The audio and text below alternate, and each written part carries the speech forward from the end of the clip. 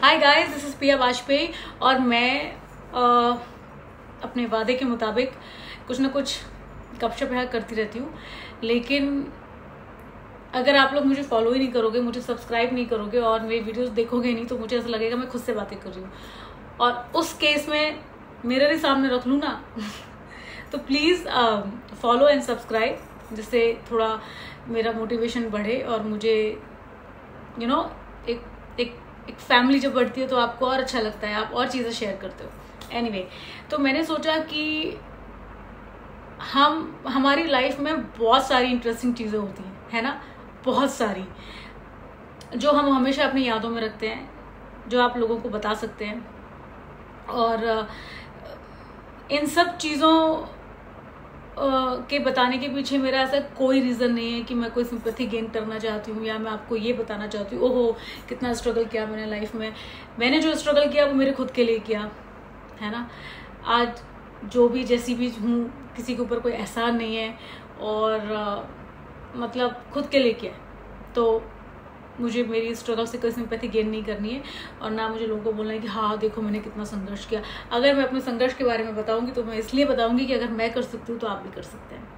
Okay तो let's be very very clear here आज मैं आपको एक इंसिडेंट बताती हूँ। नाम वाम नहीं बताऊँगी।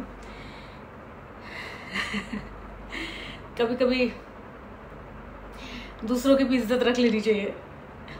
एक बार क्या हुआ?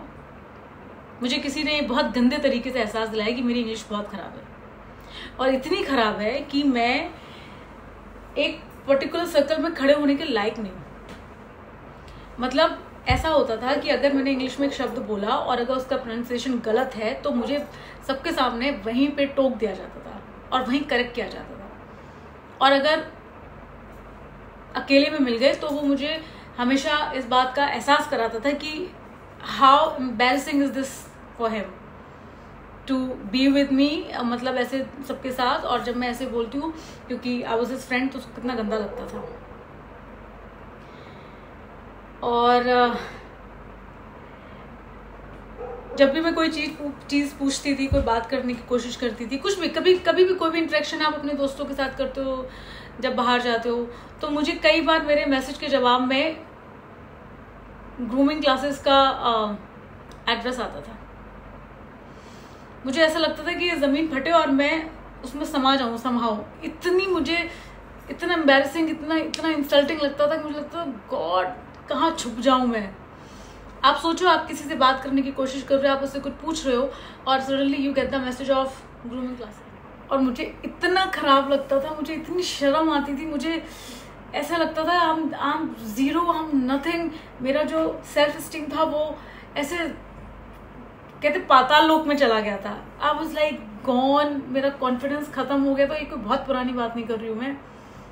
चार पाँच साल पुरानी बात, मुश्किल से because I was doing lots of commercial and I was doing film in south so yeah not बहुत पुरानी बात नहीं कर रही हूँ मैं। पाँच छः छः चार पाँच बड़े बात इतने, इससे ज़्यादा नहीं।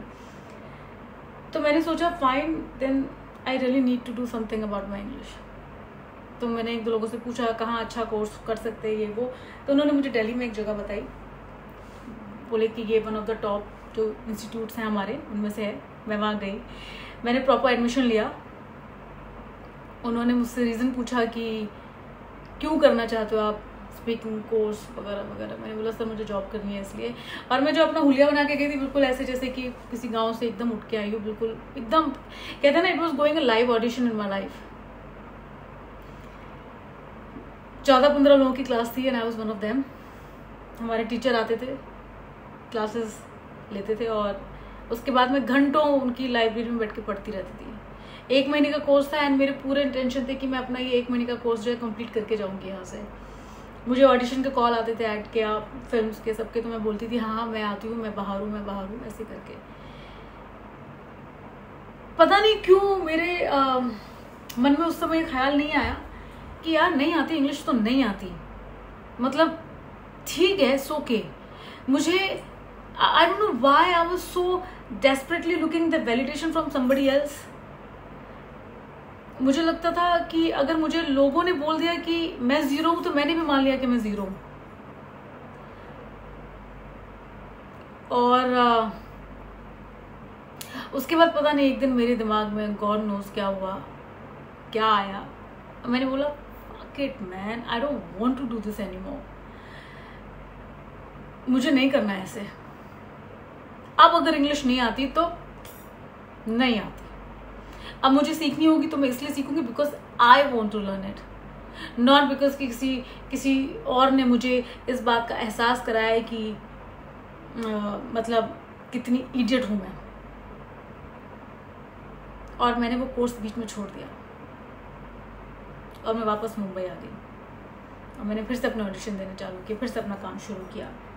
And then I never spoke to that person ever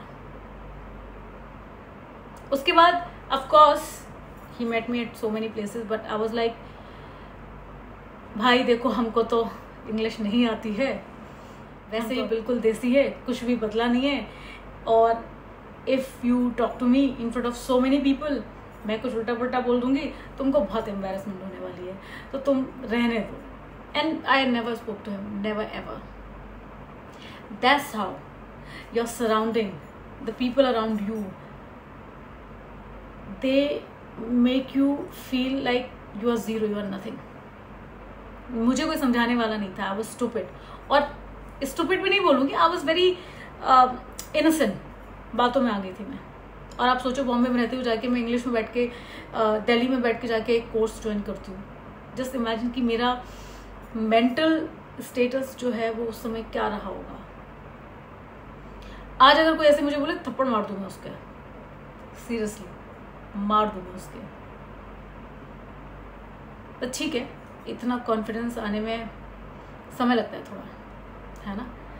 उसके बाद तो फिर जब मुझे किसी ने बोला कि जैसे मैं कहीं गई कुछ मेरे ऑडिशन हुए कहीं कुछ मुझे कोई मिला उसने बोला नहीं नहीं आ, तुम्हारा तो एक्सेंट बहुत ऐसा है थोड़ा ऐसे चाहिए थोड़ा वैसे चाहिए। मैंने बोला you not making English film है ना?